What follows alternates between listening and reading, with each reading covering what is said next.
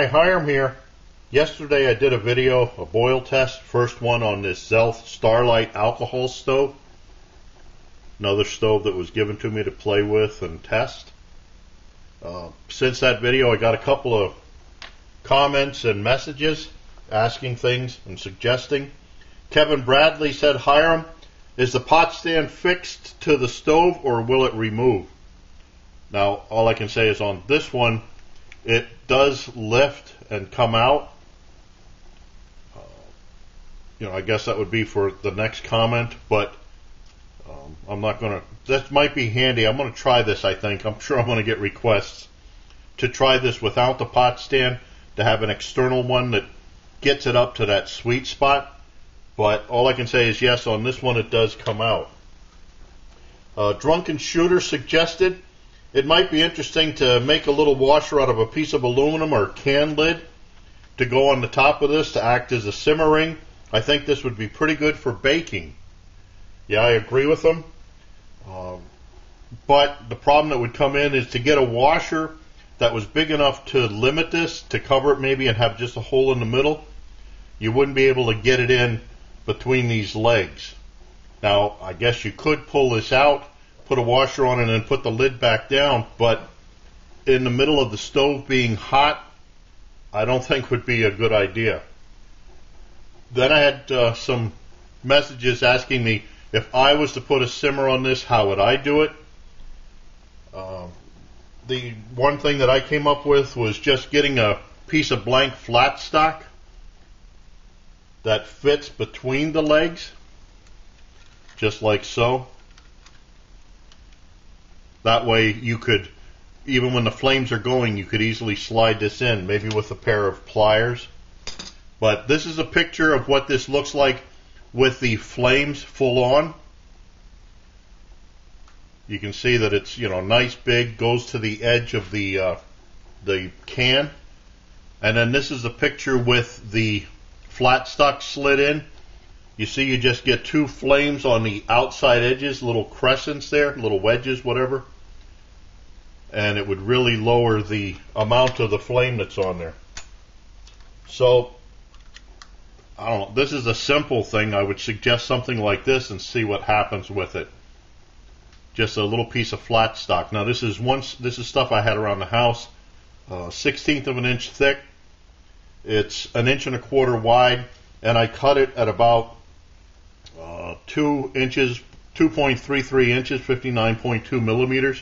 The reason why I cut it to that size was the container that this came with, which I'm not sure if it comes with all of them. That size of the slug will fit in there, so you could pack it in. What I'm going to do today is try another boil test where I'll get the water to a boil and then I'll put this piece of flat stock in, the simmer device, whatever you want to call it. I don't know, did that go back down flat? Yeah, maybe. But in this time, instead of using 30 milliliters, I'm only going to use 15. I don't feel like sitting around here for close to an hour watching this flame burn. As exciting as that is, I think I'm just going to use 15 milliliters and see what we get from there. So let me get my water prepped, get some alcohol in here, and I'll be back for a test. Okay, so I've got my water prepped. Uh, this is actually the second time I've tried to do this. The first time I used uh, 15 milliliters of methanol in the stove and it didn't come to a boil. In 11 minutes 35 seconds it only got up to 210 degrees and then ran out. So I'm redoing the test using 30 milliliters, two cups of water at 60 degrees Let's light this. And there go the flames. Start the timer. And let's see what it does this time. We're now two minutes into the test and the temperature's up to 95 degrees Fahrenheit. That's funny, with the 15 milliliters at this point, it was up to 102 degrees.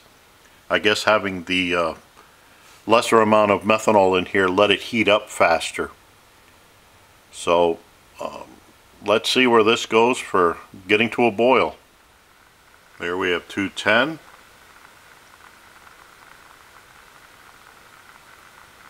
211.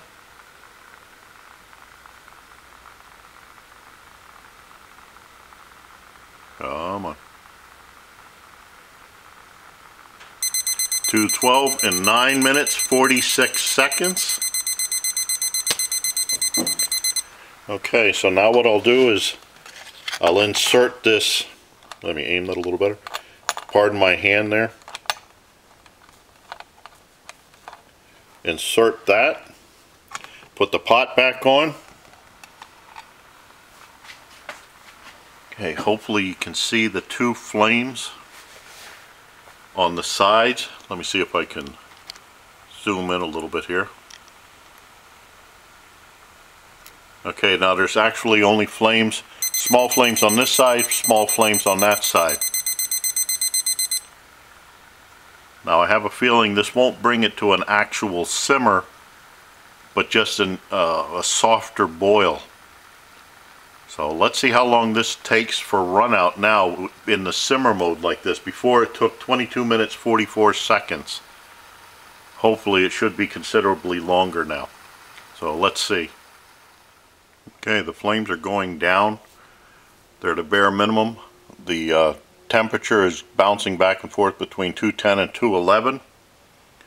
Normally I would call that as the end of the test. Um, I'm not sure why this is running out so fast. I really thought the last test ran, ran for 22 minutes 44 seconds and I really thought this would expand that time. Okay, it's going down 209. I'm going to call it at 20 minutes.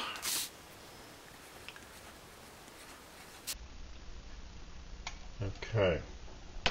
So I'm not sure what happened there. Maybe this is still just a little bit too wide. The uh, the uh, spaces on the sides where that piece of flat stock goes across. Like that. This might be just a little bit too big yet. But that was my first attempt at it. Now, actually my third attempt. The uh, first attempt where I was trying here, I used 15 milliliters of methanol. Well, that didn't even get the water to a boil. At 11 minutes 35 seconds, it ran out, only getting the water to 210 degrees. So then I had to let everything cool off, get to room temperature, put 30 milliliters of methanol in here, Water came to a boil in 9 minutes 46 seconds, which is about 15 seconds faster than the other day. So that's that's practically nothing. But this time it ran out in 20 minutes, so that's almost 2 minutes, 2 and 3 quarter minutes faster that it ran out. I don't know. Could be that it was just a smidgen short of methanol, but I doubt it. So anyway, that's my first attempt at it. So uh, I thank Kevin Bradley for his question. I thank DrunknShooter for his comment and suggestion. Um, this is just my first attempt at this. I have another idea to work with, but I'm not sure what it'll do. But I have to do a little bit of machining for it. So I thank you guys. I thank you for watching. I look forward to your input, questions, remarks, helpful suggestions. And as always, watch for my buddy Max. Bye now.